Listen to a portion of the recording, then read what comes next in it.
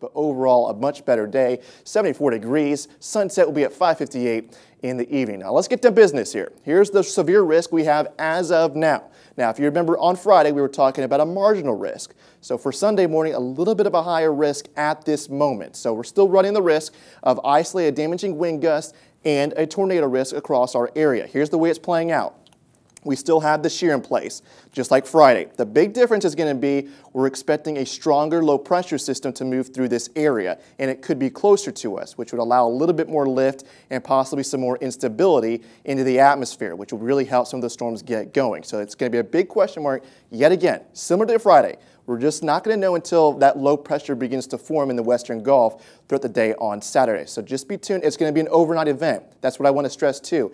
Have a radio, have a plan just in case. You want to be prepared, especially since this is an overnight event. It's right in here. This is what we sometimes call a donut hole. Very clear signature here of where this rotation is. And again, this is about a minute or two old, so this is likely right on the coastline here. So again, uh, St. Armands Circle, Lido Key, like we just said, Gulf Gate Estates, uh, let's see, um, Siesta Key, South Sarasota near Bee Ridge. This is literally right on top of you right now. If we can go to the velocities here, you'll probably be able to see uh, the new notch I'm talking about here. And there's a very, I mean, very tight rotation here. Uh, yeah, right here.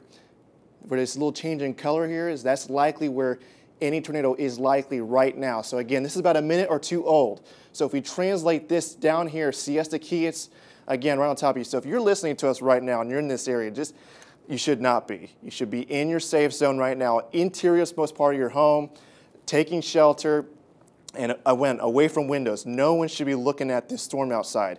You should be indoors in the interiormost part of your home, away from windows, away from doors.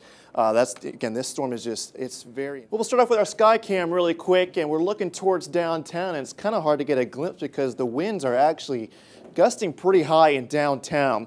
Uh, radar is suggesting that just above the surface, not exactly at the surface, but just above these buildings here, there are wind gusts up to around 50, maybe even higher. Now down towards the surface, that correlates to around 30 to 40 mile per hour wind gusts. And you can definitely see the effects here on our sky cam. Now in terms of the radar, the winds are coming from this particular cell that just now moved through uh, Sarasota Springs, just south of downtown Sarasota, but there's a little bit of an edge here in downtown. But overall, the heaviest is just south of Sarasota, moving just east now of downtown. So we're trying to clear out here closer towards the coast. Uh, but this cell here, this is moving just east of I-75, Fruitville Road, right down the road uh, Bee Ridge, just east of I-75 now. Uh, this is where we're going to see some very gusty winds. We also have another cell that's moving down Cortez Road in West Bradenton, uh, down towards South Bradenton, Bradenton, uh, down towards Bayshore Gardens. Uh, some gusty winds with this as well. 40 mile per hour winds possible here as well with some heavy rainfall mixed in there again. So we're watching all this down here.